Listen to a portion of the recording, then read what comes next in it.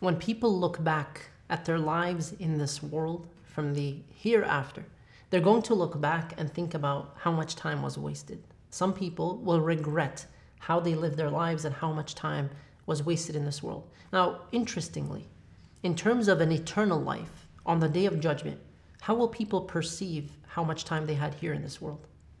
Some people, according to a number of ayats in the Quran, will feel as though the time in this world was like a morning or an afternoon, meaning a very short span of time.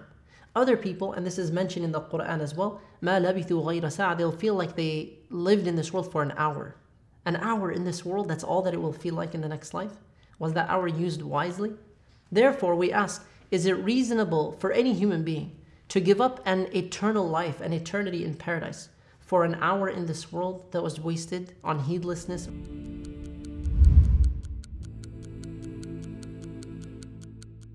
I want you to think about a quick activity to reflect on the last 10 years of your life. What were you doing in those last 10 years? What did you accomplish in those 10 years? Were those last 10 years, to this day, were they benefiting your long term goals? Was it benefiting your uh, final destination? Is it something that you feel in 20, 30, 40 years you look back and say, Alhamdulillah, the last 10 years were actually 10 years in which I was very productive for the sake of Allah. It was very meaningful. There were a lot of very good changes based on the efforts, the consistency that I put in. It was worth it how I lived my life. Or do you feel like there are some regrets, some time that was wasted that shouldn't have been wasted? When you reflect on the last 10 years, if you find any amount of regret, use that regret to motivate you so that the next 10 years, inshallah ta'ala, are more productive. The question is, how often do we reflect? Are we reflecting enough on how much time was wasted? Do we think about hindsight and foresight? And these are very interesting concepts because time, in hindsight, on the day of judgment, will look like nothing in this world. It'll be very quick, like a quick flash before your eyes. I was only there for an hour. I was only there for a few days. I was only there for an evening or an afternoon. And yet I wasted it, or I wasted 50% of it, an excessive amount. May Allah subhanahu wa ta'ala protect us. When we talk about hindsight as well, we ask, is it worth it to give up a level in Jannah, a single level in Jannah, because of a day or two in this world in which something was wasted, because of time that was spent on something useless? Maybe it wasn't prohibited, maybe it wasn't haram, but did it build up another level in Jannah? Don't we know that, for example, the one who memorizes the Quran or any amount of the Quran on the day of judgment, Prophet ﷺ informs us that Allah subhanahu wa ta'ala will tell that person, Iqra wartaqi, recite and ascend. For every ayah you recite, you will ascend a rank in Jannah. And where you recite the last ayah that you know is where you will be. That will be your final residence, your final abode. In a way, as many scholars have said in their commentary on this hadith, in a way you have some control over where you want to end up. What level of Jannah do you desire? And so you might, this is one act of worship, you might spend more time in this world memorizing and reviewing, understanding, implementing the verses that you are memorizing so that your ranks in Jannah are higher. But how about an hour that was wasted every single day on something useless rather than an ayah of the Quran you could have memorized? In one year, you could have memorized, if you haven't yet at all, you could have memorized 365 ayat. 365 ranks increased in paradise, wasted on maybe a TV show, wasted on some video game, wasted on socializing, wasted on just excessive uh, sleep. And that was taken away, that, that was uh, an opportunity cost, taking you away from something much better in the next life. In addition to that, that's one year. In addition to that is the long-term accumulation of good deeds, the long-term accumulation of good habits. Memorizing the Quran is just one example. It doesn't have to be that.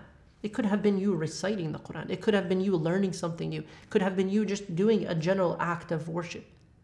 The ranks in Jannah are worth it. The Prophet ﷺ informs us many authentic hadith. The difference between these ranks is like the difference between the earth that you're on and a star that you see. Meaning what? It's far away and you don't know the difference in terms of the rewards as well. What if someone keeps living that lifestyle, pushing themselves more and more and more so that their ranks are increased to the highest levels of Jannah? May Allah subhanahu wa ta'ala grant us that. Allahumma ameen.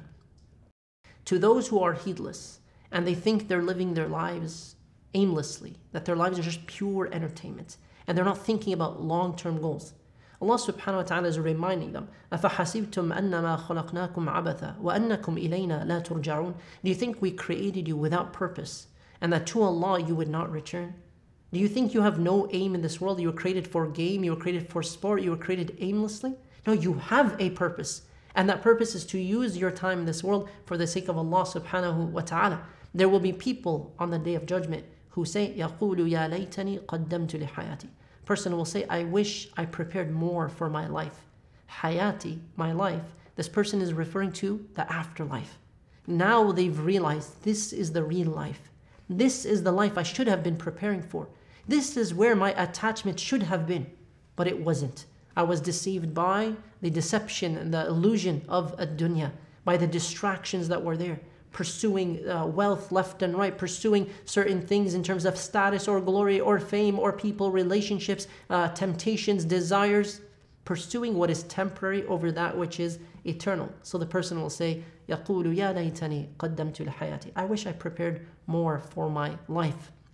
May Allah subhanahu wa ta'ala guide us forgive us, and make us from amongst those who are preparing more for the eternal life through our daily habits. If you think to yourself that you're generally doing enough because, let's say, you pray the five prayers, let's say you do the basic obligations, alhamdulillah, but ask yourself the following question would you rather, in this world, would you rather take a mansion that you had to live in for the rest of your life or a broken down cabin, free, no charges, no, no fees, no taxes, nothing at all? You'd likely take the thing that you see to be better because you're going to be in it for a number of decades. If you were given one car to drive for the rest of your life and every year they give you the same car brand new as you desire, aren't you going to choose a car that you really like?